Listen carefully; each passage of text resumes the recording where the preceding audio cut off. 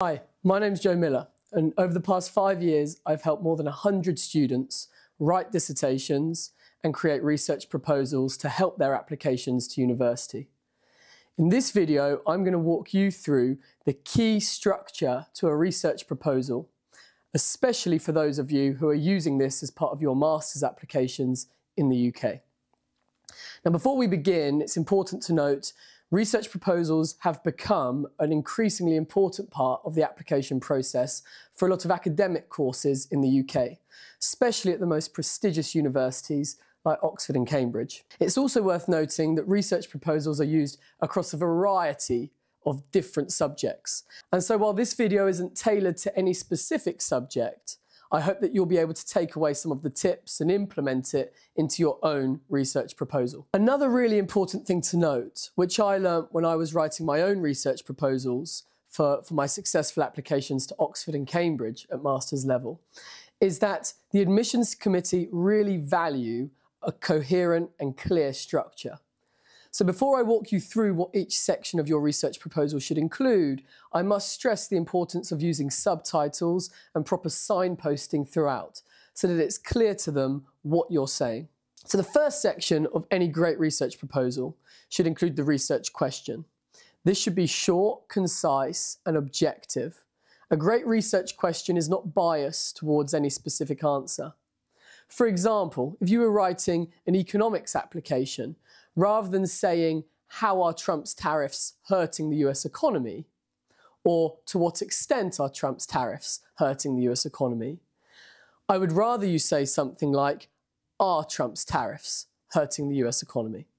Because then it doesn't lend itself to any particular answer and there is no bias. This is something that the admissions committees are really going to look for. Another quick tip in this first section, I encourage lots of my students to add research hypotheses.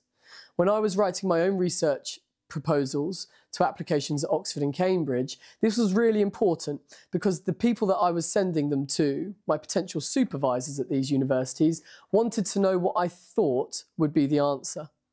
Again, there should be no bias here. The second section to any great research proposal is your rationale or motivation for wanting to do this, this research. Please note that this is different to if you're putting together a research proposal as part of your undergraduate thesis or even as part of your master's research. This is typically something we don't do at university, but when we're applying to university, it's really important. Remember, this is still part of a university application. Therefore, this second section is a really good way to show the admissions committee what research you've done in the past, why it's impressive, and why it lends itself to this research. There should be a very clear and coherent path from the research that you've done in the past to the research that you're proposing in your application. You can think of this as an add-on to your personal statement. The third section of any great research proposal is your literature review. Now, in university applications, you won't have as many words for this, but it's still vital. A literature review includes all the relevant literature surrounding your research topic. It essentially shows off what research has been done by others in the past so that you can then evidence to the admissions committee or to your potential supervisor why your research will add value. I encourage all of my students to divide their literature review into themes or even sub-themes so that it's clear what the different bodies of research are or the different schools of thought are and the overall direction that the literature is going in. It's nice to comment on the meta-narrative, so which piece of literature, which theory, which concept, which academic is, is really leading the argument or leading the debate on your topic. This will really help you to, again, show how your research is going to contribute. It's important to note, a top university like Oxford, Cambridge, LSE or so on, they simply don't want research for the sake of it. They don't want you to say that you're going to do some research simply because it interests you or you think it's something that realistically you could, you could do. They want something that's actually going to contribute. It's going to push the boundaries of the current body of scholarship that's out there. That's really important. Section four of any great literature review is an insight into the primary sources that you're going to use. Now, as somebody that did my master's in economic history, I can't stress enough how important this is.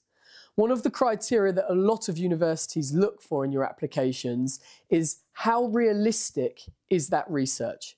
How realistic is your proposal? And I've seen lots of students over the years that have great ideas, but they're not very well thought out because they simply don't know how to actually tackle the research. The data might not be available, the sources might not exist, or they simply might have not done enough preparation to discover those sources. This section is therefore really important to show the admissions committee that not only have you got a well thought out research, research proposal, but that it's realistic that in the, the year or two years of your master's program, you can actually achieve your research goals. So in this section, it's important that you actually state what your primary or secondary sources are going to be. Tell the university that you've already found them, you've already looked at them. You don't need to go into detail, you don't need to have analysed any data or collected any data yet, but show them that this exists. For example, when I applied to both economic and social history at Oxford and Cambridge, I built upon my previous undergraduate research at LSE by bringing in new sources. And in this section, I actually gave evidence of what that source was, and I even includes, included some excerpts from the source itself. For example, in my section four, I included the specific source that I was using for my historic research.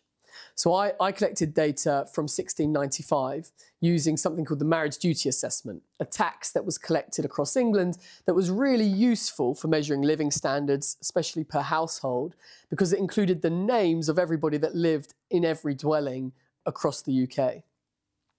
Not only did I tell my supervisor or the admissions committee that I'd found this source, I actually included excerpts from it and even showed them an example of what my research analysis might look like.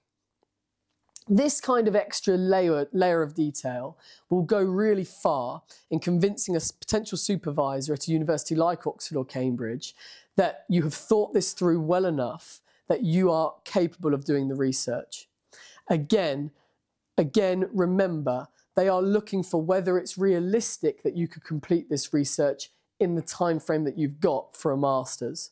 For many people, this is the bottleneck that stops them getting an offer. The fifth and final section to any great research proposal is your research design and methodology. So this is where you're going to tell the admissions committee or your supervisor how you're going to analyse the primary source that you introduced in section four. There are loads of different approaches and some of them that you can find online, some of them you've probably learnt during your undergraduate degrees. This can span from quantitative analyses, where you use statistics or econometrics in Stata or, or Tableau, all the way to something like qualitative analysis, um, where you might conduct interviews or research certain themes within secondary literature. The really important thing to note, however, when you're including this section in your application to university is that it's an amazing opportunity for you to show off the skills and research you've done in the past. Therefore, I would urge you in an application, don't try anything new. Don't say that you're going to use a certain method if you've never done it before, or if it's not obvious from your previous modules or experience that you've got the skills to do that. This will simply scare the, the admissions committee and any potential supervisors. Instead, lean on your previous skills. For example, in my applications to university, I said that I was going to use quantitative analyses in my economic history research. Why? Because during my undergraduate degree, I'd completed modules in statistics and advanced econometrics, which I could then cite and bring up to convince the admissions team that not only was my research well thought out and well prepared, but I already had the skills. It isn't going to be a lot of additional work or effort for my supervisor to get me in a position where I can actually execute my research. As I said at the beginning, I've helped over 100 students brainstorm, draft, and then execute their research, either for applications or for their university degrees. And having that extra subject specific support can really be useful. As always, if you found this video useful, please do like and subscribe. If you have any pressing questions, please leave a comment below and we'll do our best to get back to you quickly. If you or any of your friends want one-to-one -one support, please do use the information on screen now so that we can find a tutor suitable for you. Otherwise, good luck with your applications.